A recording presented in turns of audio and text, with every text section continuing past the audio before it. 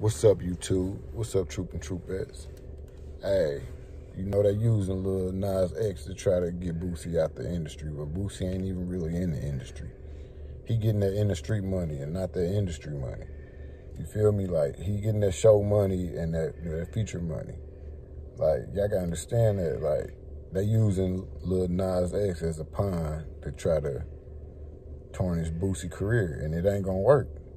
You gotta think, man. He got the streets behind him. He might not get the industry money, but he he he'll be well off. He ain't tripping on none of that.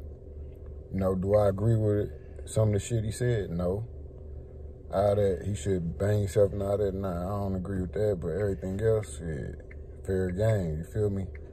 But uh, y'all know like like like the little dude from Milwaukee said shit. He said they was raised off Boosie. You know what I mean? So Boosie always gonna get a bag in the ghetto. He can go to any ghetto in America and get a bag.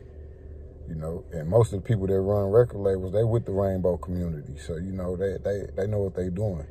They trying to be strategic with it, but they still playing checkers. You feel me? Can't stop that man. And, as long as a uh, little rainbow dude keeps saying shit, Boosie gonna keep responding. He, he, we, hey, what's wrong with raising men out here today? What's wrong with that? Y'all act like it's a problem with straight men. I, I'm raising straight men. I wish I would catch my uh, little dudes watching some, some, some rainbow shit. I'm just keeping it all way G with y'all, like for real. I ain't got nothing against them, but that ain't that ain't how we was raised. You feel me? They do them, we do us. You know. But y'all trying to stop Boosie Bag, man. Y'all ain't gonna do nothing but make him bigger. Straight up. But like you said, nigga, hey, if he was the baby, he would have apologized about the millions, but he ain't in the industry. You feel me?